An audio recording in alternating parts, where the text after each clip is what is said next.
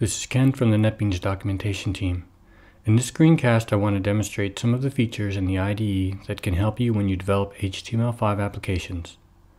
NetBeans IDE 7.3 introduces a new project type for HTML5 applications. In this screencast I will show you how to create an HTML5 project in the IDE and edit the JavaScript and CSS in the editor. I will also show how the NetBeans connector extension for the Chrome browser can help you see how the application will be displayed on different devices. Before I create the application, I will install the NetBeans connector extension for the Chrome browser.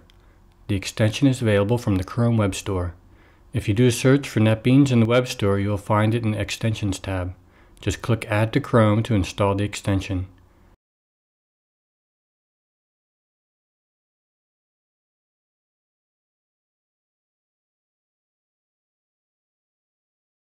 Now if you go to the extensions page of your Chrome settings, you will see that the NetBeans extension is listed.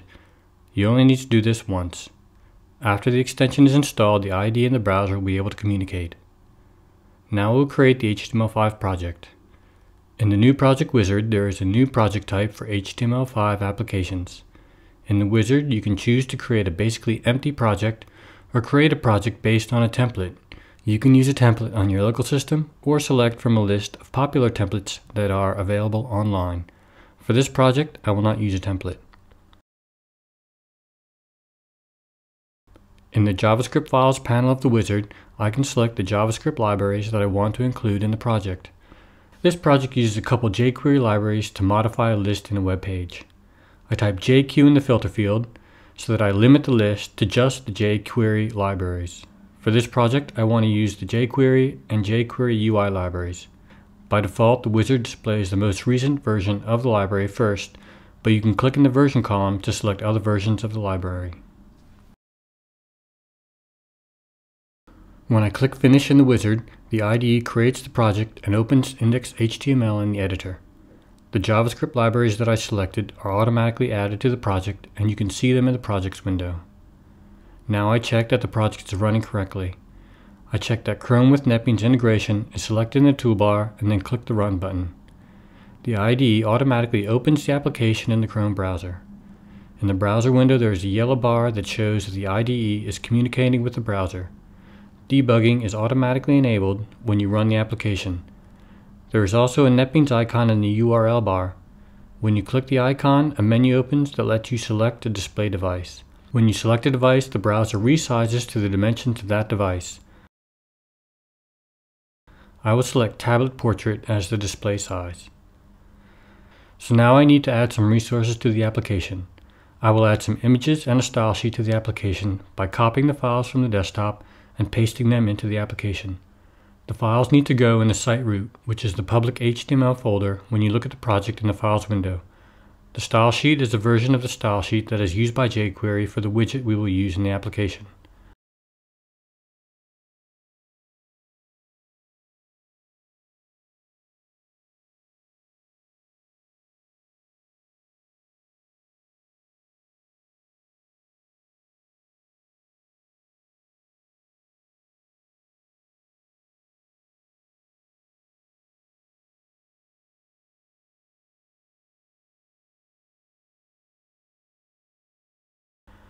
I now add links to the JavaScript files in index.html.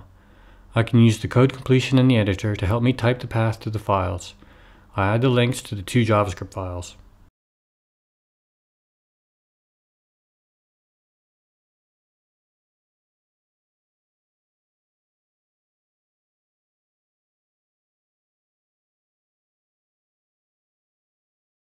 Now I paste some code into the file.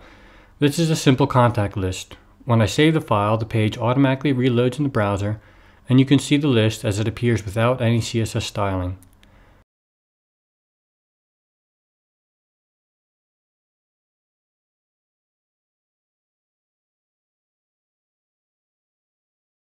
The next task is to make this list look a little nicer by adding some basic CSS rules and also by using the jQuery accordion widget.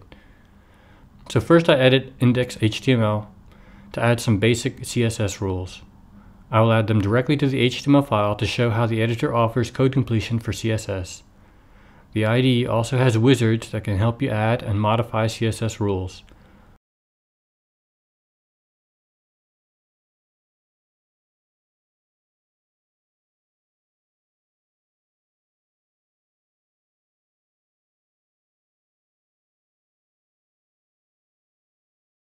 When I save the file, the changes are immediately visible in the browser window. In the Navigator window, you can see the elements that I added to the HTML file. Now I need to add a link to the jQuery style sheet that I added earlier. Again, the code completion can help me when adding links to project resources.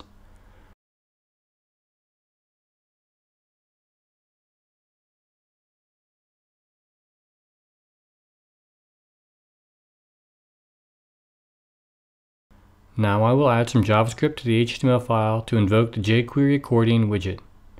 You can see that the code completion suggests using the jQuery ready handler for loading the function. The accordion script will modify the elements within the info list object.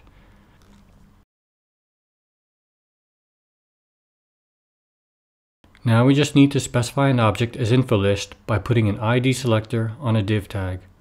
I put the cursor in the div tag and then open the Edit CSS Rules dialog box.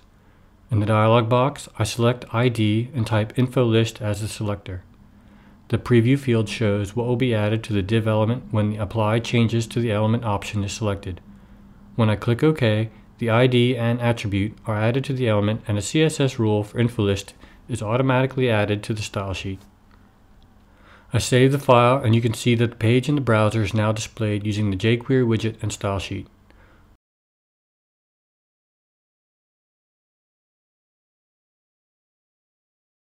When I use the NetBeans menu to change the display size to a smartphone browser, you can see how the page will appear on that device.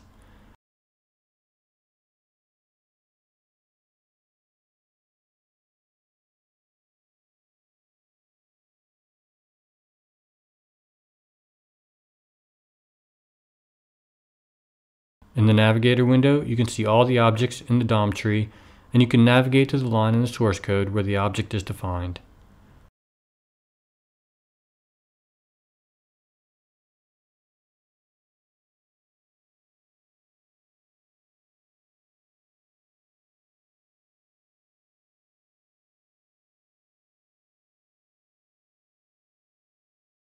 After the project is working, I can save the project as a site template.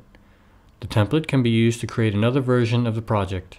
In the wizard, I can choose what files are included in the site template. This simple demonstration showed some of the features available in the IDE for creating and developing HTML5 projects. Thanks for watching and be sure to watch our other screencasts about using NetBeans IDE to develop HTML5 applications.